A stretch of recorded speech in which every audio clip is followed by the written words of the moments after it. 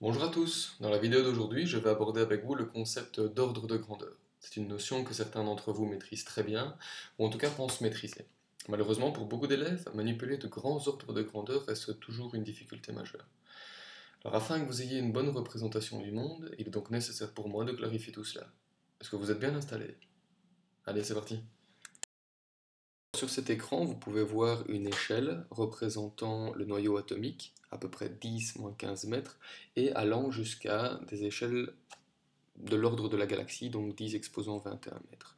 Dans un cours de géographie, généralement, on, euh, on, vous explique les ordres de grandeur allant de l'être humain jusqu'à la Terre, donc grosso modo de 1 mètre jusqu'à 10 exposant 7 mètres. Ceci constitue donc des ordres de grandeur de l'homme à la Terre. Alors dans ce cours, on va étendre un peu le domaine et inclure le système solaire et les galaxies, donc des ordres de grandeur euh, allant de la Terre à la galaxie. Alors, prenons ma photo ici, je mesure environ 1m80, et on va utiliser cette, euh, hauteur afin de, de passer à l'ordre de grandeur suivant. Si on multiplie ma hauteur par 10, on a quelque chose de l'ordre de 18 mètres, et donc de la longueur de ce bateau ici. Un ordre de grandeur supérieur, c'est plus ou moins la hauteur du bâtiment, ici le 30 Street Mary Axe, qui est en fait un des bâtiments les plus emblématiques de Londres. Et donc ici, entre ma photo et ce bâtiment-là, on a deux ordres de grandeur qui les séparent. Celui-là fait à peu près 180 mètres. Donc, on va continuer. 10 fois la hauteur de ce bâtiment-là, ça fait plus ou moins la longueur du Golden Gate. Celui-ci fait plus ou moins 1800 mètres, donc environ 2 km. C'est normalement un des bâtiments que vous avez vu l'an passé, euh, lié à San Francisco. 10 fois la longueur de euh, ce, pont, ça fait environ une notion que vous devriez connaître, c'est plus ou moins euh, le diamètre est-ouest de Bruxelles. En effet, si on prend les 5 km de la légende en bas, on a plus ou moins 15 km, ou plus ou moins quelque chose de l'ordre de 18 km, ce qui fait environ ma hauteur x 10, x 10, x 10, x 10. Alors on arrive tout doucement à des notions qui sont très importantes, en tout cas pour moi, à connaître. La longueur, par exemple, de, de, la route entre Bruxelles et Arlon fait environ encore 189 km, c'est-à-dire 10 fois le diamètre de Bruxelles.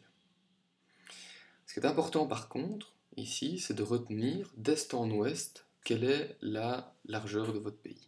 Vous avez un, pays qui fait plus ou moins 280, on va retenir 300 km de long. Et ça, on va pouvoir l'utiliser sur différentes cartes afin de comparer des distances. Retenez, d'est en ouest, la Belgique, avec le Luxembourg, ici, fait plus ou moins 300 km de long. Sur une autre carte, ici, on va utiliser la France, et du nord au sud, la France, à peu près 1000 km. Donc ça, ça va être très intéressant, parce qu'en fait, on va pouvoir utiliser aussi cette, euh, cette, cette, distance du nord au sud de la France, qui est facilement repérable sur les cartes, afin de mesurer d'autres distances dans le monde. Voyons par exemple le cas des États-Unis. Vous avez ici une carte qui représente la France et les États-Unis côte à côte. Voici la distance nord-sud de la France. Si on prend cette même distance 5 fois côte à côte, on voit que ça remplit plus ou moins l'espace euh, d'est en ouest des États-Unis. Donc les États-Unis sont d'un ordre de grandeur de 5000 km. On s'en fout des détails, c'est 5000 km qui comptent ici. De manière euh, analogue, voici une carte de la Russie, et donc si on regarde l'échelle qui est en bas de la carte, on voit qu'en fait, on peut mettre les 1000 km 8 fois d'est en ouest de la Russie.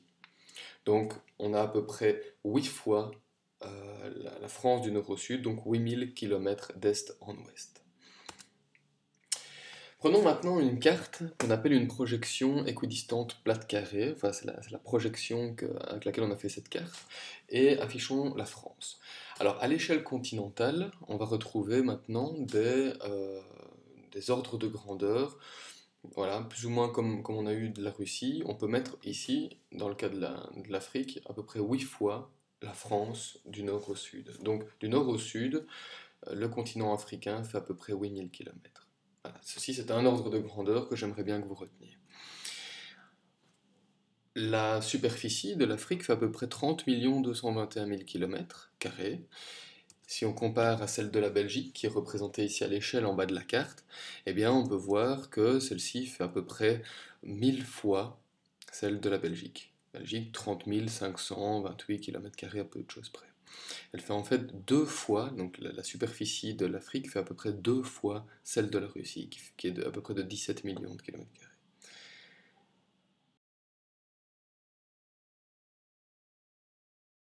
Cette carte qui apparaît à l'écran est aussi une carte équidistante, c'est-à-dire que le long de son méridien central, eh les distances apparaissent en bonne longueur. Elle va nous être très utile pour calculer la distance du pôle nord au pôle sud. En effet, regardez sur cette carte, la double flèche rouge représente bah, du nord au sud euh, l'Afrique, donc les 8000 km que l'on connaît déjà. Et nous, ce qu'on veut absolument savoir, c'est la flèche verte, donc qui correspond à la distance euh, à la distance d'un pôle à l'autre. Donc 8000 km, on va devoir multiplier cette distance-là par 2,5 fois pour nous donner cette distance du pôle nord au pôle sud. Ça fait environ 20 000 km, donc ça je pense que 8000 fois 2,5 c'est pas très compliqué, 20 000 km, et c'est ce qu'on va appeler la distance de pôle à pôle. Cette distance va nous être très utile car en fait elle va nous permettre de connaître la circonférence terrestre. Donc si vous faites le tour de la Terre, combien de kilomètres vous allez faire? Eh bien c'est très simple, 40 000 kilomètres. C'est deux fois la distance d'un pôle à un autre. Alors pour ceux qui ne visualisent pas très bien, vous pouvez voir ici un globe en trois dimensions où vous voyez les méridiens évoluer le long de la Terre. Et donc on voit très bien que la distance d'un pôle à l'autre, euh, ben, fois 2, ça nous donne la circonférence terrestre. Alors cette circonférence terrestre va elle-même nous aider pour calculer des distances dont on n'a pas accès. Par exemple, ici, cette double flèche indique la distance qui nous sépare du centre, euh, du centre de la Terre. Et eh bien en fait, on va utiliser la formule de la circonférence, 2πr, pour connaître le rayon terrestre. Alors, quelle est la distance qui vous sépare du centre de la Terre? Du coup, ça devient très facile à calculer. 40 000 est égal à 2 fois 3,14 pi fois r, ce qui donne un rayon de 6370 km. Donc la distance qui vous sépare du centre de la Terre est égale à 6370 en moyenne euh, de kilomètres. Ok, je pense que c'est le moment de faire une petite synthèse. Donc je vous demande de prendre deux post-it Alors sur le premier post-it, vous pouvez déjà noter ce que l'on vient de voir, c'est-à-dire les dimensions terrestres. Première dimension qu'on a observée ensemble, la Belgique d'est en ouest fait plus ou moins, voilà, maintenant vous le connaissez, 300 km. Comme ça, quand vous verrez la, Belgique euh, sur un écran, vous savez que ça fait plus ou moins 300 km. La France du nord au sud fait plus ou moins, c'est facile, 1000 km. On continue, les USA d'est en ouest, grâce à nos mesures, font plus ou moins 5000 km. L'Afrique, du nord au sud, fait plus ou moins 8000 km. Enfin, le rayon de la Terre, maintenant qu'on l'a calculé ensemble, fait plus ou moins 6370 km. Et la circonférence terrestre, si on applique la formule euh, de Pierre, ça donne à peu près 40 000 km. Ok, donc cette formule-là, très importante aussi, la circonférence, c'est 2πr. Ça, ce post-it là, vous le collez quelque part où vous passez souvent, ça vous permettra de le revoir assez facilement et de bien le mémoriser, euh, de bien le mémoriser pour la suite. Ok, on va passer maintenant aux dimensions extraterrestres, donc vous gardez le deuxième post-it et on passe à la suite. Alors concernant les dimensions extraterrestres, la première qui me vient à l'esprit, c'est la dimension euh, Terre-Lune, donc la distance entre la Terre et la Lune. Pour ce faire, on va utiliser le diamètre terrestre, 12 740 km. Et vous voyez qu'en fait, à cette échelle-là, il va falloir dézoomer un petit peu pour pouvoir voir la Lune apparaître à droite de l'écran, exactement ici. Alors combien de fois on va pouvoir mettre cette distance connue, donc ce diamètre de la Terre, dans cet espace qui sépare la Terre de la Lune? Alors on va le compter ensemble, voilà, une dizaine de fois, 10 fois, 20 fois et 30 fois.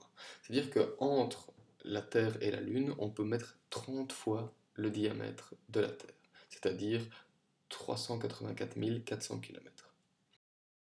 Alors intéressons-nous maintenant à des distances encore plus grandes. comme par exemple la distance Terre-Soleil.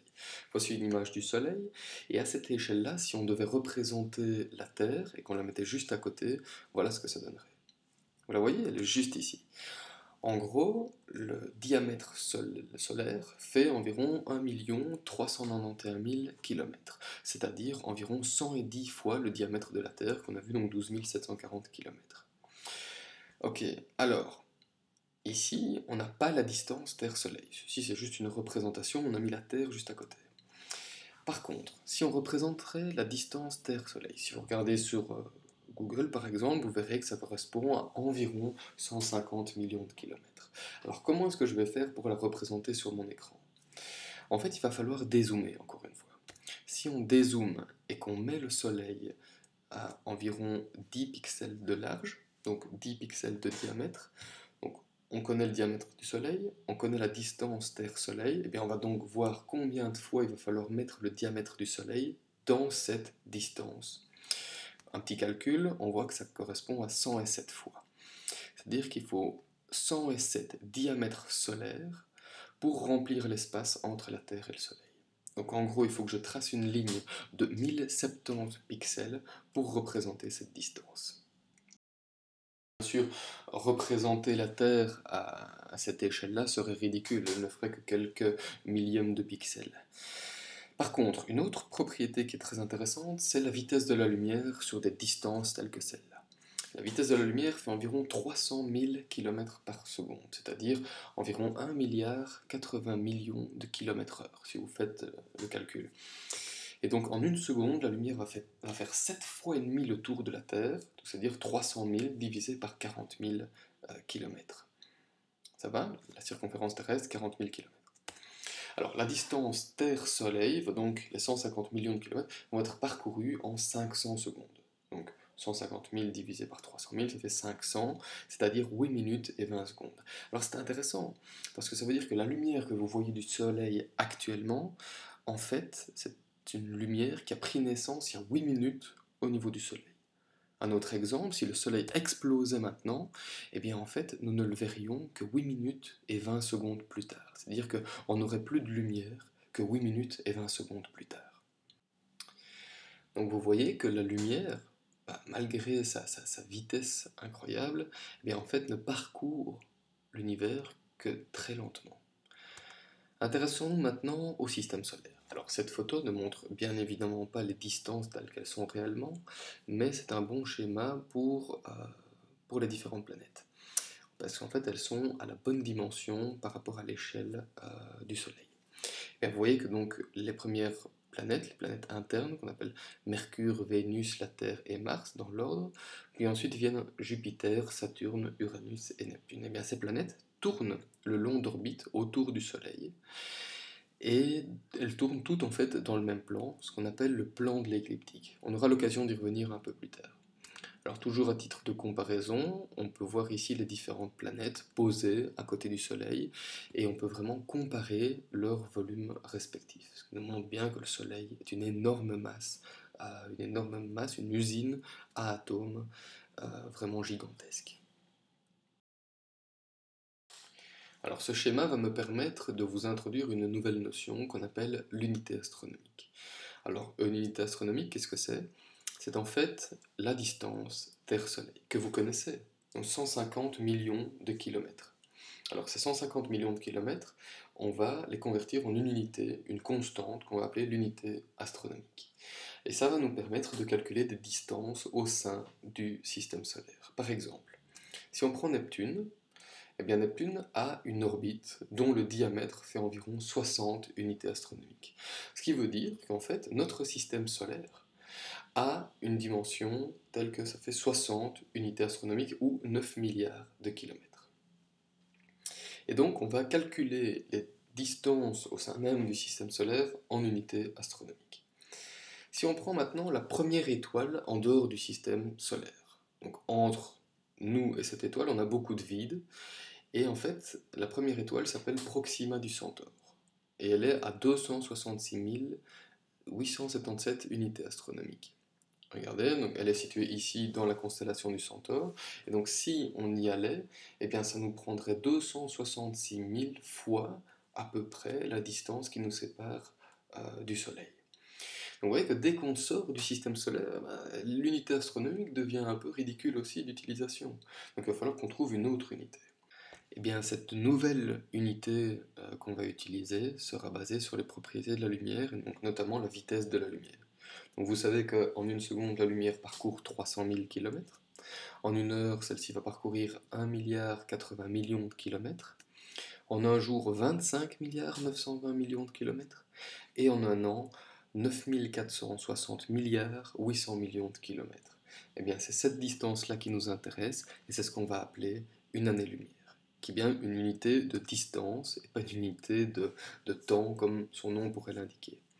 Alors, on va l'appliquer tout de suite à Proxima du Centaure, qui, je vous le rappelle, est à 266 877 unités astronomiques, qu'on va transformer directement en kilomètres, en multipliant par 150 millions ce qui nous donne ceci.